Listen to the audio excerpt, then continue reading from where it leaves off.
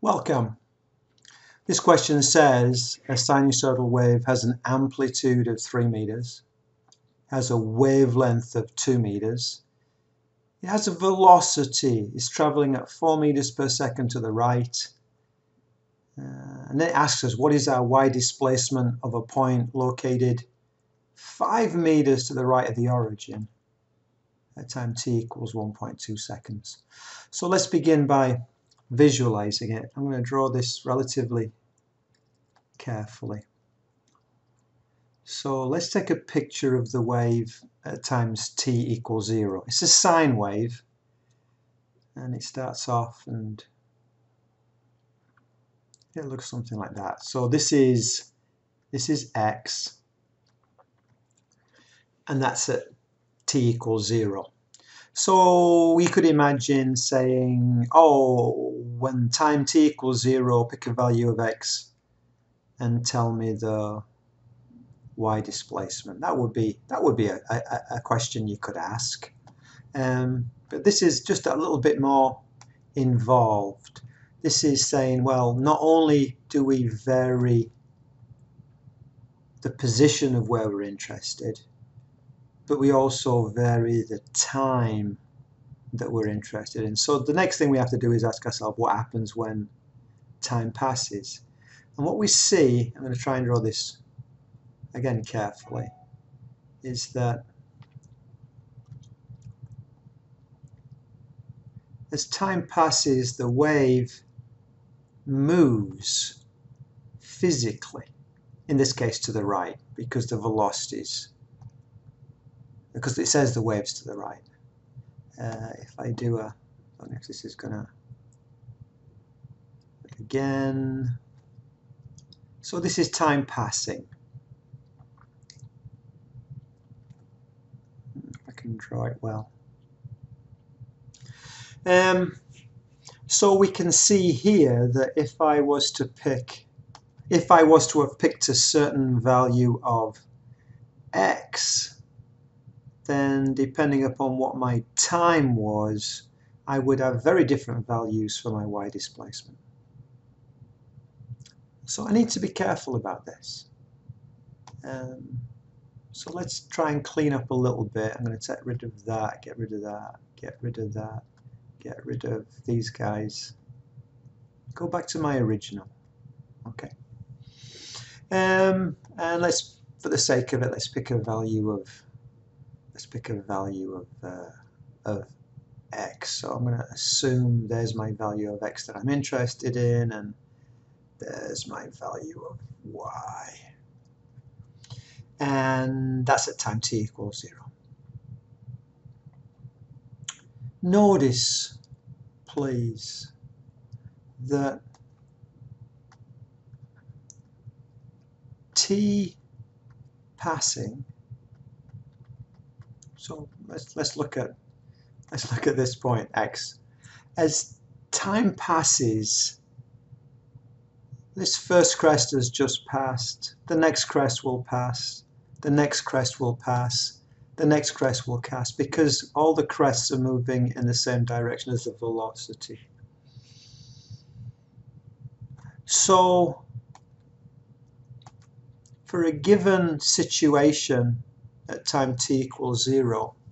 If I want to know what happens at a later time, what I can do is look further back along the wave.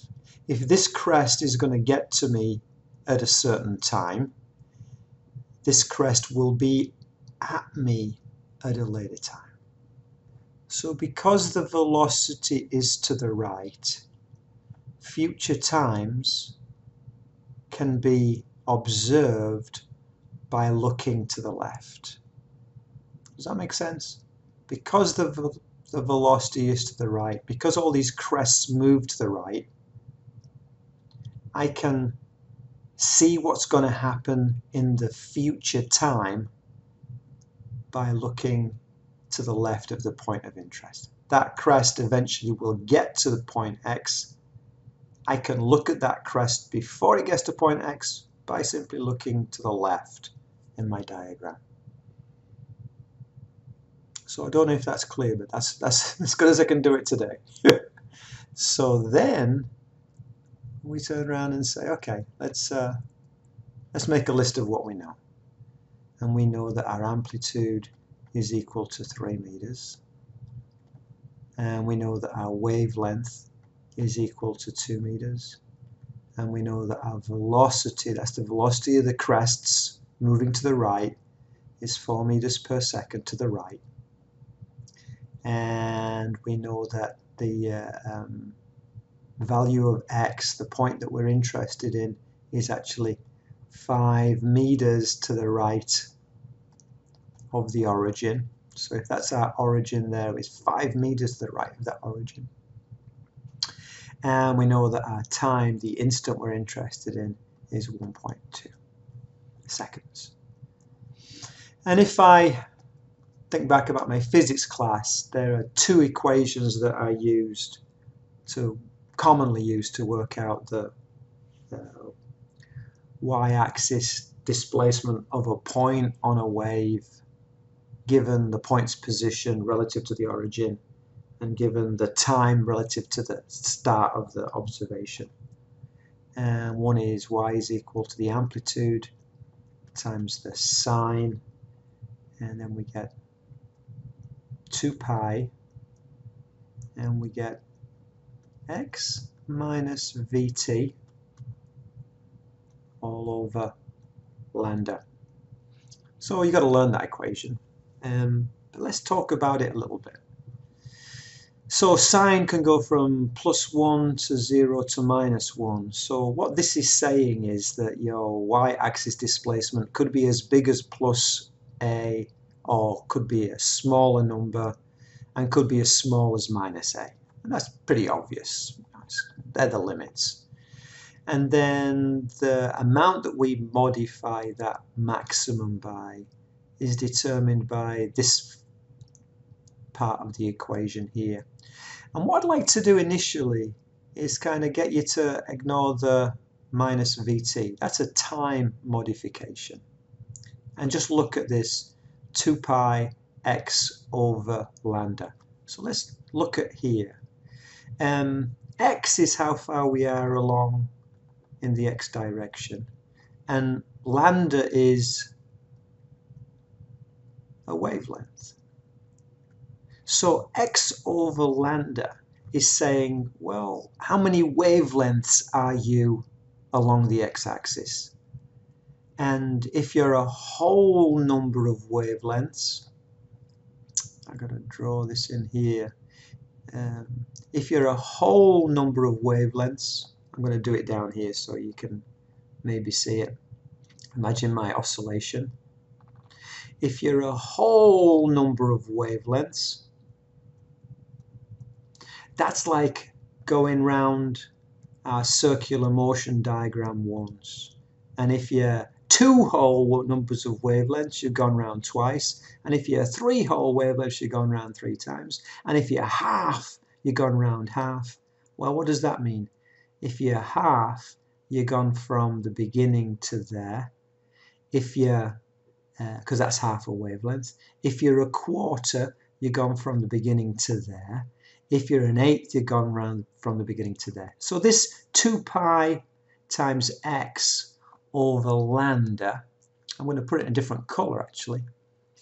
2 pi times x over lambda, let's do that in blue, 2 pi times x over lambda is a way of telling the system how far you are around how many whole wavelengths, what fraction of a wavelength are you around in the circular motion analogy, which tells me, you know, am I one whole wavelength around? Am I one and a half? Am I one and three quarters? Am I one and three, uh, seven eighths? Where, where am I? So I'm using this ratio in order to be able to modify my peak amplitude. Okay, so that's, you know, with a bit of, with a bit of thought, that, that kind of becomes a little bit clearer. But we actually want to take into account time.